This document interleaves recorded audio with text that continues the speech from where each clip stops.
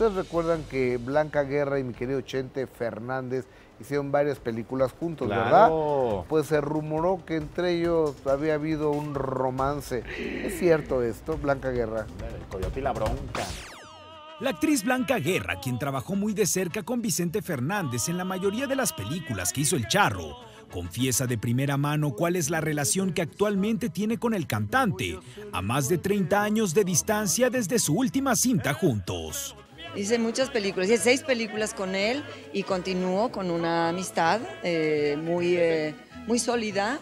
No nos vemos hace tiempo, pero hemos hablado por teléfono, está bien, es un hombre muy fuerte, es un hombre muy, eh, eh, pues eso, que tiene una, una, una profesión que lo revitaliza, aunque él diga que ya se retiró. El amor no sabe de estas cosas. Pero ya no lo quieres, ¿verdad? La actriz pone en claro si esta cercanía con el charro de Huentitán en aquellos años pudo haber desencadenado algún romance entre ellos, rumores que hasta hoy habían quedado sin aclarar por parte de la actriz. vez había mencionado que, tenía intenciones con usted de enamorarla cuando estaba en esas películas, ¿fue?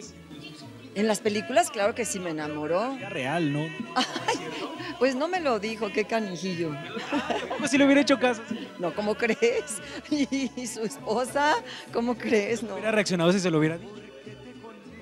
Pues le hubiera dado las gracias y que siguiera su camino. ¿Por qué no Muy. Pregúntale a su mujer. Nada más unos días las extraño y después ni del nombre me acuerdo. Coqueto, mi querido Chente. ¿Cómo no? Si era una belleza esta mujer. Pero te digo una cosa, todas las mujeres que fueron cortejadas por Vicente Fernández, todas le dieron las gracias, porque otras dicen, oye, ¿qué te pasa? Estás casado, loco, maldito, vete. Pero todas dicen, ay, pues yo le di las gracias, pero pues no, no se podía, imagínate nada más. De que, gracias por, por, tu cortejo, por ah, fijarte en mí, pero no, pero es raro que una mujer le dé las gracias a un hombre cuando le anda y coqueteando sabiendo que está casado, ¿no? Y él, mira, con lo galán que era y con el personaje que era, las mujeres hasta le agradecían por los piros. La cosa es que les diera otra cosa, no las gracias. Ay, bueno. Oye, la bronca, me encantó, la bronca del coyote Qué buena película. Me acuerdo que ahí estaban unos agarrones Blanca y Vicente.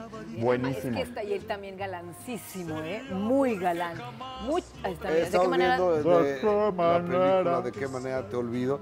Mira, Vicente Fernández hizo muchas películas, no precisamente que haya sido un gran actor, digo, más bien no tengo los elementos para juzgarlo, pero es un gran cantante y el más longevo cantante de la música mexicana lo es. Y nomás chequemos año por año porque lo que fue Pedro murió muy joven, Jorge murió muy joven, este Tony Aguilar tuvo una carrera también larga e importante, pero no eh, Jorge Negrete murió también joven, pero ninguno como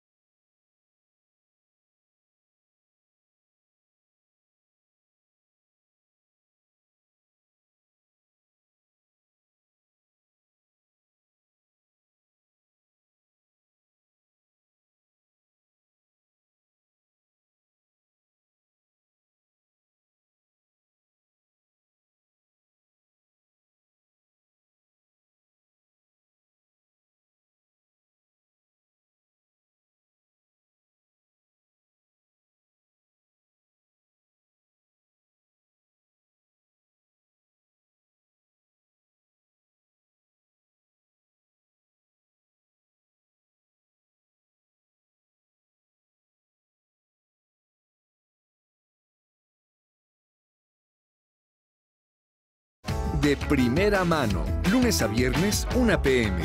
Participa en Imagen Televisión.